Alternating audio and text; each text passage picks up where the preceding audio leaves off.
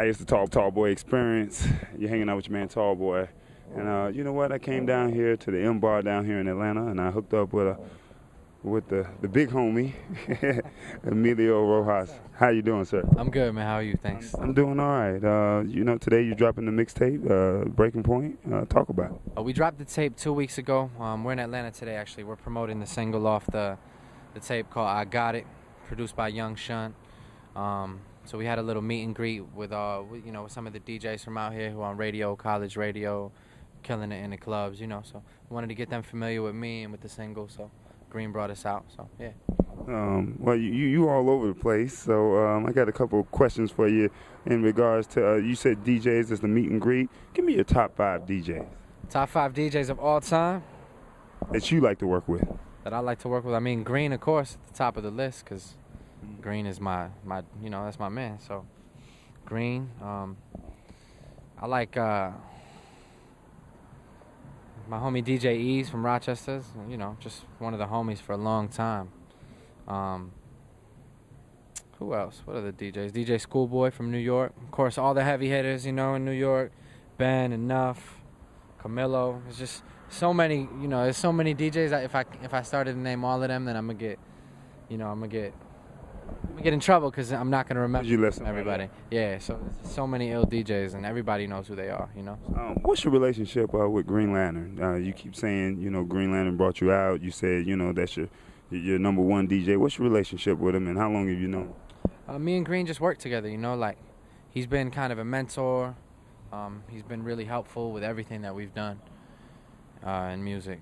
So, you know, we met uh, maybe three years ago. We've been working together for three years. Um, he heard a record. He, we're actually from the same city. We're both from Rochester. So he heard a record that I had done about our city, and then he reached out through Legend from OnSmash.com. So big shouts to Legend for, for linking us up. Um, and ever since then, you know, we had a good working chemistry. Obviously, I'm a big fan of Greens because Green is a legend, you know. So it's it's a blessing to be able to work with somebody who's been around everybody from M to J to Nas, and the fact that he's working with me, you know, it's it's humbling, but it also says something about you know my ability and you know how much he believes in what we do. If if those are the other people that he's you know affiliated with. So. That's what's happening. Um, talk a little bit about the, your song "Middle Finger to the Law." Oh, I just, I mean, I don't really like the police, so so it doesn't get more simple than that. Like, it's pretty self-explanatory. I was in Australia when we made the record. Um, we were on tour with Wu Tang in Australia. I was with a producer who's an Australian cat by the name of M Phazes. Um, we heard the record. What's the record uh, where the J samples from? Get uh, dirt off your shoulder. Yeah. I think it is. Yeah. And I was like, yo, you should sample that. You got the acapella for that? Yeah, yeah, yeah. We're like, yeah. And he's all like, you know, he's Australian. So he's like, yeah, mate, yeah.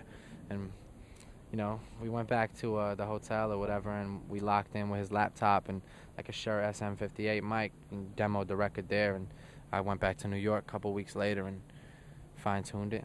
That's how that record came about. That's what's happening.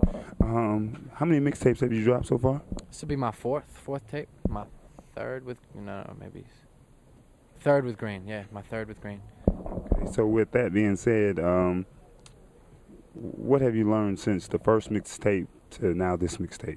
I mean, mixtapes. I feel like doing mixtapes is about experimenting. You know, like it's free music for people to download via the net, and it gives me a chance as an artist to play with a bunch of different sounds and, you know, just kind of do whatever it is that I want to do, and see what people react to and what people like and what people don't. So you know, that's that's kind of there's no pressure. So, um, if there was one thing that you wanted to improve, what would it be? I mean, there's a million things I want to improve. I'll just never say them because I can't. I can't let people know anything that I'm not feeling 100% on. Because as soon as people see like anything that m- they might consider a weakness, they they hone in on it. You know, like you saw the Marquez and Cotto fight, and Marquez had that thing with his eye, right? And Cotto just kept tapping him, tapping him, tapping him. Even though Cotto's best with the body shots, he still was going at the eye because people like to isolate and attack weaknesses. You know, so that's why we don't publicize those. I heard that. Check that out. Um, so, where can they uh, find the mixtape?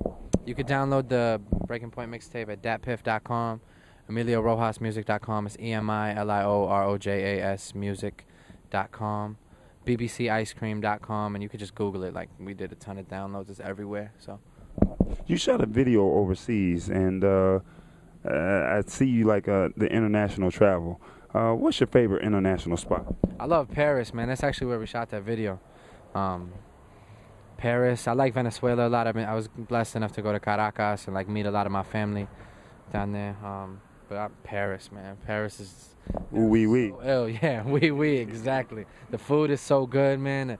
The women are like beautiful. They're like fashiony. So even like the the girls that ain't too pretty look pretty because the clothes make them look pretty, you know. So everything's a win. All right, well, I'm going to get you out on this one right here. I do a community initiative here in the Atlanta area about the importance of hustling the legal way and also networking. Can I get your personal definition of uh, hustle and network? I mean, hustle is just work hard, and and if you work hard doing something you love, it won't feel like a hustle, you know. So I just think people should just find something that they enjoy and just strive to be the best at it, and that's it. And the network? Networking is just about being a real human being to other people.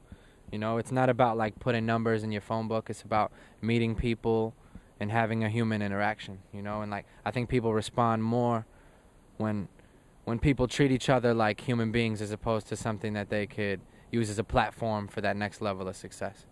You know, so if you treat somebody like like a real person, you're going to go a lot further than treating somebody like they're just there to do something for you. That's what's happening. It's the Tall Boy Experience. You're hanging out with Emilio Rojas. Uh, he's doing his thing. Breaking Point mixtape. Check it out. Tall Boy.